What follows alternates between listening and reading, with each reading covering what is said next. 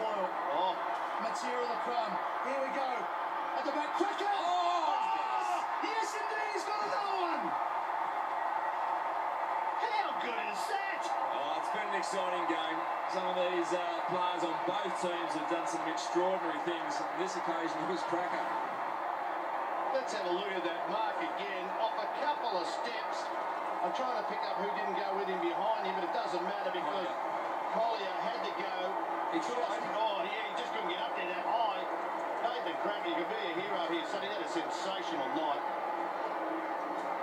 This for goal number five. What a night. Cracker. Two steps. Oh, boy. Kicks his fifth. And the Suns go ahead by a goal. Oh, that's a great effort. Young Krakouer spent a few weeks in the uh, NE AFL just to get some fitness up, get some form up. And he's been a very good player here tonight. And this is a great grab. We've seen a few of them tonight, and that's a, such an important grab when his teammates are out on their feet. And when you're tired and you're fatigued and the pressure's on, you've got to go back and slot it.